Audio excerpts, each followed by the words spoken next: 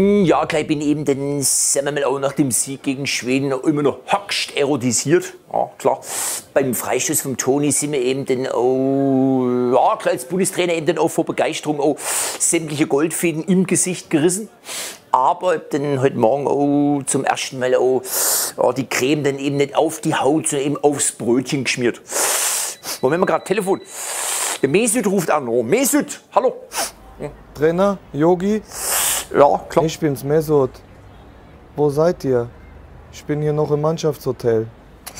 Du, wir sind eben dann äh, direkt nach dem Tor und im Jubeln sind wir dann kurz eben ohne Duschen eigentlich direkt in den Flieger oh, zum Flughafen bis auf unsere Büroabteilung, die dann eben auch noch die Schweden bepöbelt hat. Ach so, ich dachte, es wäre 1-1 ausgegangen. Ich bin nach der roten Karte von Boateng gefahren.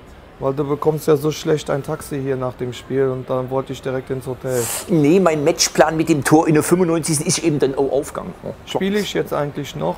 Ich kann auch Abwehr spielen, ist kein Problem. Gestern hat ja der Rudi sich die Nase gebrochen.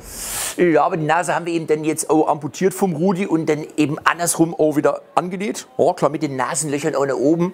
Ja, dann kann das Blut nicht rauslaufen. Also der Rudi spielt. Ja, Der Boateng ist gesperrt, der Hummels hat Rücken, klar. der Plattenhardt sieht eh nichts.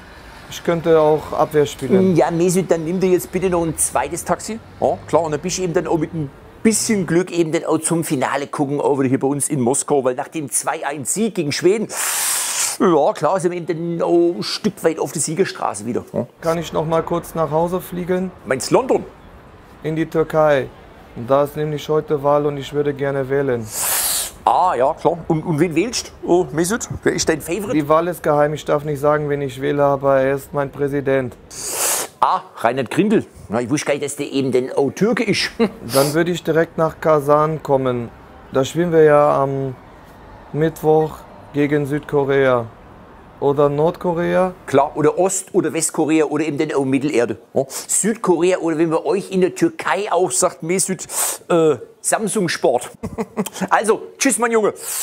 Ja, klar, als Bundestrainer muss man eben dann auch, wir, immer mal auch, äh, die Spieler auch bei Laune halten. Aber gegen Südkorea habe ich eben dann ein höchst gutes Gefühl. Tschüss, macht's gut. Oh.